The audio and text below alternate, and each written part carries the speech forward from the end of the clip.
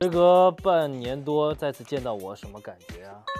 唉嘴巴还是那么犀利，咱们第一次见面时，你对我真实内心 OS 是什么？太高冷了。哪句台词或者场景让你觉得印象很深刻呢？烈女怕缠郎，缠烈女怕缠郎，缠郎。缠他呀，岂不闻烈女怕缠郎？你觉得咱们组不用问了这个问题？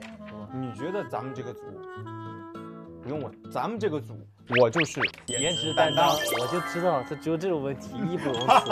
那你觉得咱们组谁是垮台担当？垮台，那也不是你。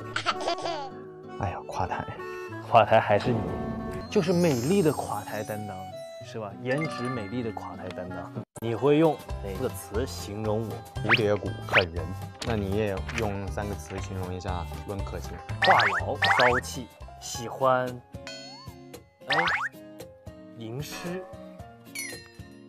你见到我的第一印象是如何呢？第一印象，一眼万年，你是觉得我长发帅气，还是现在帅气？各有千秋。那过了这几千年，看到短发的我，你是觉得当年的我帅气，还是现在帅气？不分伯仲。你是如何看出我易容时的真实样貌？我看人不看面相，哦，都看他的蝴蝶。你易容主要变化了哪里？我主要变化了我的骨头。哦，原来是个照片。